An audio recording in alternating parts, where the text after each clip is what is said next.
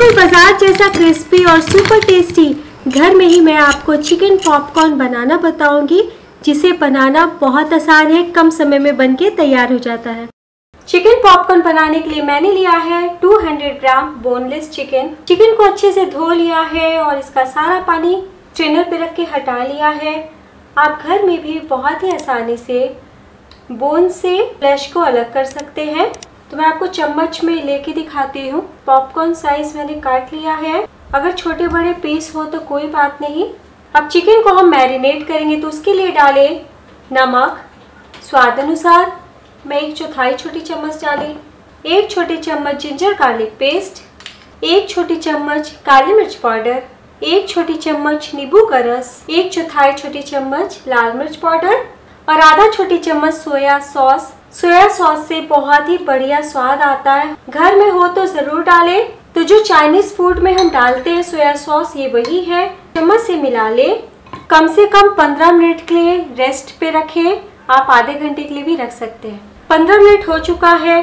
अब एक प्लेट लीजिए। उसमें डालें तीन चम्मच मैदा और दो चम्मच कॉर्नफ्लोर आप इसके बदले अरारोट पाउडर भी ले सकते हैं।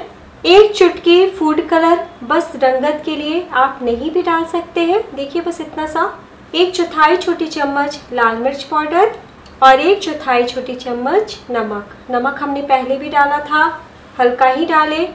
अब दो चम्मच से हम इस तरीके से मिला लेंगे। अब मैरिनेट करके जो चिकन पीसेस रखे हैं, इसे डाल दीजिए सारा का सारा। और दो चम्मच के हेल्प से हम इस तरीके से फ्लोर में मिक्स करेंगे ताकि इसका जितना मॉइस्चर है, वो सब सूख जाए। और जो हमने मैरिनेशन किया है, जितने मसाले डाले हैं, जो भी फ्लेवर है, वो अंदर ही रहे और फ्लोर से ऊपर से कोट हो जाए। तो सबसे आसान तरीका, घर में होममेड चिकन पॉपकॉर्न बनाने का तरीका बता रही हूँ, क्योंकि अभी तो हमें बाज़ार का बिल्कुल भी नहीं खाना है अवॉइड ही करना है। तो घर में फ्रेश चिकन के साथ आप इस तरीके से जब भी आपको नॉन वेज स्टार्टर खाने का मन करे तो बनाए। कोट करने के बाद अब हम स्टेनर पे इस तरीके से उठा लेते हैं और छान लेते हैं ताकि एक्स्ट्रा फ्लोर वापस से प्लेट में गिर जाए। छानने के बाद प्लेट को हटा दीजिए। दूसरे बाउल में लीजिए एक अंडा। अंडे का हमें योग इस्तेमाल नहीं करना है। इस तरीके से खाली वाइट पार्ट गिराएँ। आप किसी दुस्त आप ऑमलेट में डाल के इस्तेमाल कर लीजिएगा। येलो पार्ट डालने से पकौड़ा सॉफ्ट हो जाता है और बहुत तेज़ी से डार्क कलर का होने लगता है। तो एक अंडे का एग वाइट लिया है। उसमें एक टेबल स्पून हम दूध डालेंगे। दूध रूम टेम्परेचर का होना चाहिए। अच्छे से मिला ले। तो एक चम्मच दूध डालने से पतला हो गया। बहुत ही बढ़िया से। चिकन के पीसेस में कोट हो जाएगा। हम सारे चिकन के पीस एक वाइट में डाल देंगे और इस तरीके से मिक्स करेंगे। एक वाइट में मिलाने के बाद हम फिर से स्ट्रेनर पे रखते हैं ताकि एक्स्ट्रा एक वाइट निकल जाए। तो बिल्कुल भी बहुत बर्तन गंदे नहीं होंगे, मैं बार बार एक ही बर्तन का इस्तेमाल कर रही हूँ। तो देखिए, इतना एक वाइट निकल गया, अगर नहीं निकालते तो अच्छा नहीं बनता पॉपकॉर्न इसे साइड रखिए। अब हम ब्रेड क्रम से कोट करेंगे। तो मेरे पास ब्रेड के किनारे पड़े हुए थे। मिक्सी में पीस के चूरा बना लिया है तो ये हमारा ताज़ा ब्रेड क्रम्स हो गया। आप चाहें तो किनारों को निकाल के भी ब्रेड क्रम्स बना सकते हैं, या फिर बहुत ही ज़्यादा क्रिस्पीनेस के लिए कॉर्नफ्लेक्स यूज़ करें। कॉर्नफ्लेक्स को मिक्सी में पीस लीजिए और उसमें कोट करें। अब हम एक एक चिकन पीस को इस तरीके से कोट करते जाएँगे। जितना चिपके, ब्रेड क्रम्स उतना लगाए, बाकी झाड़ लें और प्लेट में रख कितना सुंदर दिख रहा है। मैं आपको फिर से बताती हूँ, एक चिकन का पीस लें और इस तरीके से कोट कर लें। अच्छे से ब्रेड क्रम्स चिपका दें। तो कोई पीस अगर आपको टेढ़ा मेढ़ा दिखे तो हाथों से हल्का सा इस तरीके से दाप लें और प्लेट में रखते जाएँ। ऐसे ही हम सारे चिकन के पीस कोट कर लेंगे।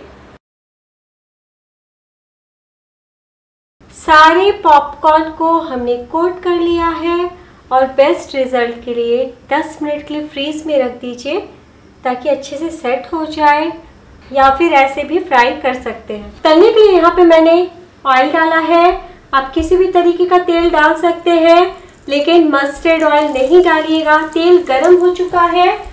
फ्लेम को लो टू मीडियम कर दीजिए, ताकि चिकन अच्छे से कुक हो और इस तरीके से डाल दीजिए। एक ही बार मैंने सारे चिकन पीस को डाल दिया है। आप देख सकते हैं, बिल्कुल भी तेल में नहीं बिखर रहा है, लेकिन अभी हमें चम्मच या स्पैचुला नहीं डालना है। दो मिनट के लिए इसी तरीके से फ्राई होने दें। दो मिनट के बाद चम्मच से हल्के हाथों से इस तरीके से उलट पलट ले? तो आप देख सकते हैं कितना बढ़िया कलर आया है और कितना आसान है बनाना। तो जो हमने फ़र्स्ट मैरिनेशन किया था जिंजर गार्लिक लेमन से, आप उस टाइम भी 10 मिनट रेस्ट दे करके कॉर्नफ्लोर मैदा और एग वाइट डाल सकते हैं। लेकिन परफेक्ट पॉपकॉर्न इसी तरीके से बनता है। दो दो मिनट पे हम उलटते पलटते रहेंगे ताकि चारों तरफ़ से क्रिस्पी हो जाए और चिकन कुक हो जाए। तो छः से सात मिनट हो चुका है, उलटते पलटते फ्राई कर लिया है। ऑयल से निकाल लीजिए।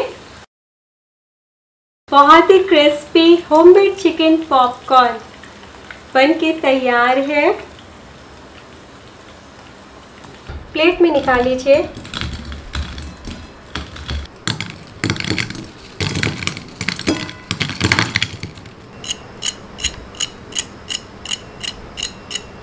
बहुत ही ज़्यादा क्रिस्पी बना है। तो सुपर क्रिस्पी और बहुत ही यम्मी चिकन पॉपकॉर्न बन के तैयार है। मैं आपको काट के दिखाती हूँ। तो बहुत ही अच्छे से चिकन कुक हुआ है और आप कोटिंग भी देख सकते हैं। तो बिना रुके टमाटो केचप और म्योनीस के साथ एंजॉय करें।